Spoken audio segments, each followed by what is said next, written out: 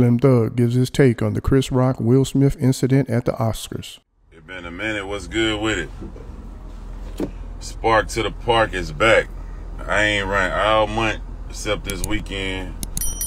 I was gone the whole month. Missed out.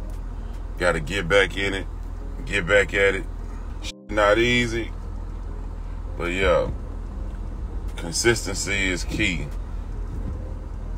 Everybody talking about last night at the Oscars. If y'all don't know that was acting, y'all a little slow. If you thought you could slap a motherfucker and go sit back in the chair as sensitive as you motherfuckers is these days, you're a little slow. So that's a good test to know if you're a little slow or not. If you believe Will Smith actually slapped Chris Rock and they ain't playing that and that wasn't acting, you're a little slow.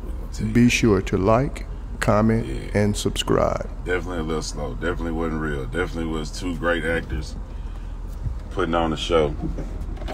But sorry to talk down on your Santa Claus. You know what I'm saying? Like sorry to you know what I'm saying, be the nigga who hate on your Santa Claus. I apologize, but I just thought that you should know if you think that that's real, you're a little slow. But it's cool though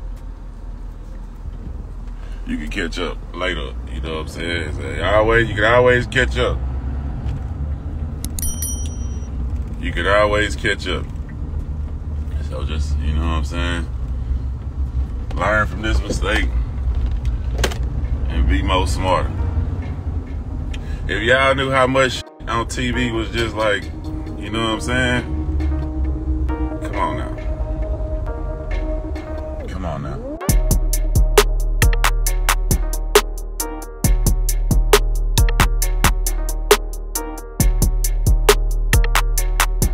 Thanks for tuning in to 9 Mag TV.